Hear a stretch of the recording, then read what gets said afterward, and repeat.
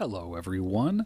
My name is Sean, and I am going to take you for a little walk through our Minecraft creation here on the Church Mag server. Uh, I typically have my three year old son Finn with me, uh, but right now he is in bed, and I am actually getting a few moments to stream by myself. It's a rare occurrence, but it's quite uh, quite pleasant actually. So, uh, was confronted a while ago about um, doing a little walkthrough and my history of gaming by by Jeremy and, and Eric Dye of uh, Church Mag and been playing on the server for a few weeks now and, and just seeing so much of this build up around what's uh, um, what's being done this community that's that's continuing to grow which has been so cool to see uh, and I figured I might as well finally take the time and, and record and kind of give you a tutorial of, of what I've d- developed here and and uh, a little bit of the history of, of where I come from uh, and uh, kind of give you a, get to know you a little bit better. So this is actually the kind of start to uh, a strip mine that I've started to build. Uh, I love mining; it's a lot of fun. in fact, that's one of the whole reasons I really kind of got into Minecraft was just the um, adventure of being able to discover these new places. Um, a lot of times, whenever I would play games like Halo or games like um, any RPG games, uh, especially MMOs that I'd played in the past, uh, a lot of times the quests were fun, uh, the action and the adventure was great. But after I played through the game, I would just immediately jump into seeing where I could get and what I could get to. Um, so Minecraft was very much so that way. I actually came in early in Alpha Alpha 1.1, I think September 2008 uh, is when I came in and started playing. Back in the day before, um, I mean, it was pretty much a completely different game at that point. Uh, it's fun looking back and, and seeing what was available at the game at that point it's definitely definitely changed quite a bit. So to start with, um, I actually used some TNT just to s- develop a main um, a, a, main area here for me to kind of dig down to the bedrock, which is what we've got right here, and then started kind of mining out, started mining tunnels, and uh, as I was on my way down, I ran across this pretty incredible um, abandoned mine shaft, uh, abandoned mining facility, and I'm actually leaving this water here because I don't tend to have mobs spawn over here, but I'll have mobs spawn on either side of this, and they just get moved out of the way. Uh, but I've actually been really successful down here so far. So I'll, I'll jump back up here and kind of give you a tour on my way out. Um, video games for me kind of started out as a bonding experience back with um, uh, my primary system back in the day was probably the Nintendo Entertainment System, the NES. Um, I remember my, my parents bringing that home and, and just how incredible it was to be able to sit down and play with my dad playing original Super Mario Brothers, Duck Hunt, Fester's Quest, uh, the Legend of Zelda, a lot of great games that I really got into as a kid and really found myself um, drawn to. Uh, this is the, the, little top area here that I've kind of built out for the mining facility. Uh, I love mine carts. I love laying down track and kind of giving myself safe passage from one side to the other. Um, and that's why I kind of built this out.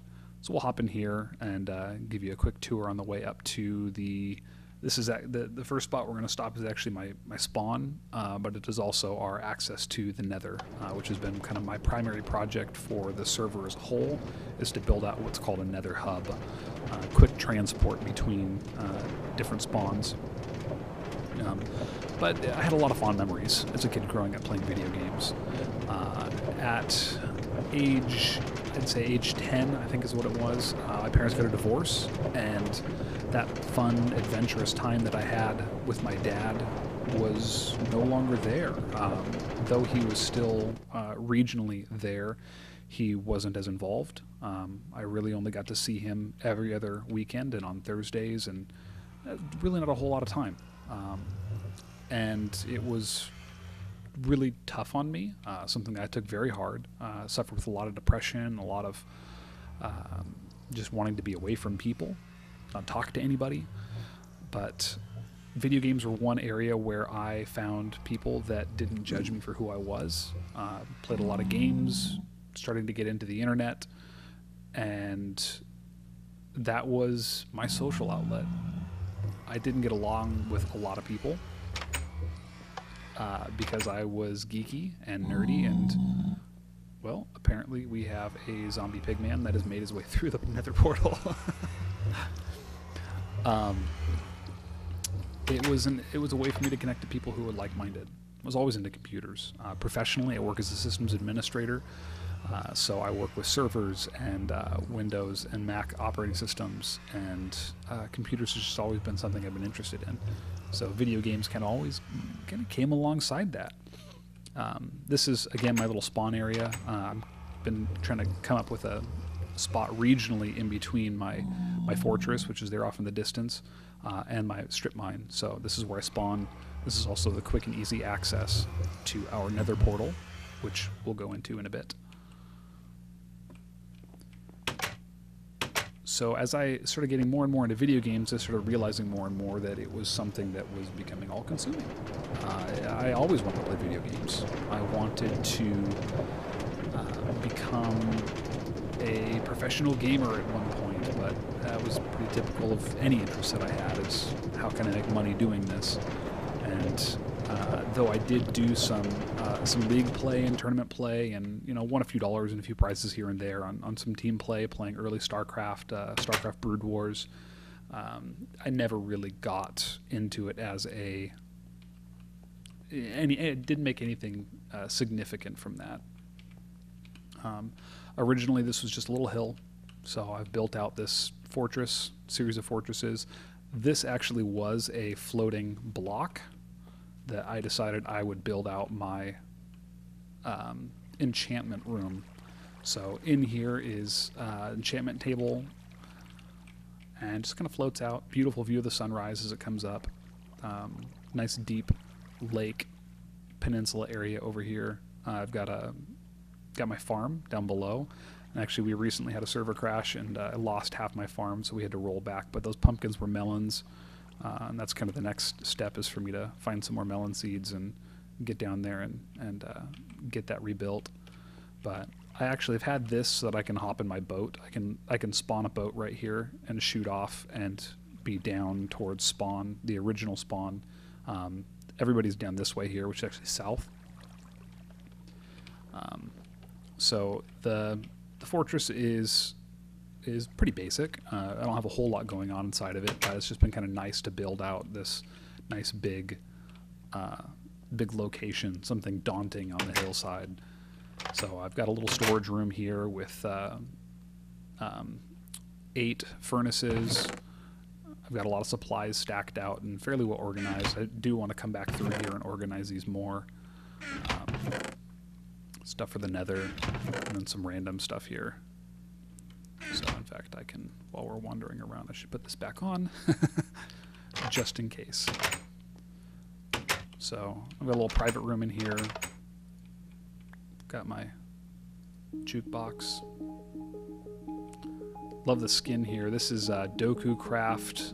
Um, I think this is Dokucraft Light. But anyway, it's always fun to be able to have uh, interactive, uh, interactive skins. So uh, here's the brewery. This is where I'm primarily doing um, all of our potions. So we've got fire resistance and night vision and water breathing, invisibility, swiftness 2, strength 2, regeneration, and poison 2, splash poison 2. So built out quite a few supplies. Um, I can get four going at a time, which I found is kind of the most that I really want to do because otherwise I'm bouncing back and forth between them a lot. Endless water pool. And then down below, I've got our uh, nether wart. So, pseudo little nether portal here. Um, and that's pretty much giving me all the nether uh, nether wart that I could use. So I've never really had a need for anything else once I got that going. So from up top, we've got a little cow farm here. My iron golems decided that they all wanted to jump in with the cows, which is a design flaw. Um, but for now, they're protecting the cows. so let's head back down here.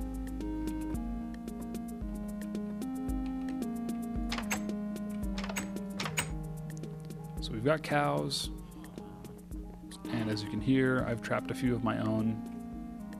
So we've got a priest. All my zombie meat goes to him, and then we've got a leather worker. And I think I've maxed him out. I haven't been able to get emeralds out of him for a while, so we'll see. So this is a killing zone. Uh, eventually, what I plan to do is uh, extend the spruce staircase down to spruce steps that it's going to lead straight over here. And uh, kind of give us a nice path. Guys over here. Mm, Take care of this Enderman too. Endermen don't like being on fire though. Man, those guys are so fast. So the the thing that my son loves the most, uh, again, he's three years old. Uh, shameless plug here. You can you can uh, do a do a YouTube search for toddler craft, one word, and uh, pull up our feed. But man, we have a lot of fun. He loves this game so much, and his absolute favorite part is killing the bad guys. That is uh, his favorite.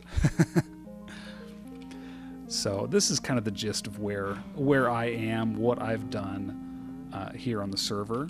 Um, we'll head over to the Nether portal real quick so you guys can see what I've done over there, and uh, finish it out at spawn. But uh, when I was 20 or so, 19, 20, 21, somewhere around there, um, I realized that that uh, that video games were were definitely getting to be a problem. Um, I had lost a, a very serious relationship at the time, uh, which in hindsight was a good thing.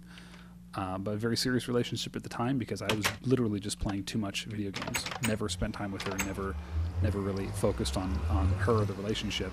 And you know, you, you, relationships time spent.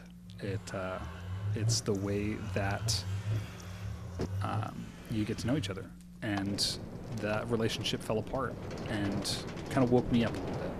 And I realized that uh, maybe it was becoming something that I needed to really address and, and take a look at. And so uh, I pulled away from it completely. Really played no video games whatsoever. Um, joined into an internship down in Texas, um, a place called Teen Mania Ministries. That's going to come back and bite me, I'm sure. Um, uh, and at the internship, I I really began to hear uh, God's calling on my life to um, to follow Him, to really seek Him, and to understand who He is and who He's called me to be.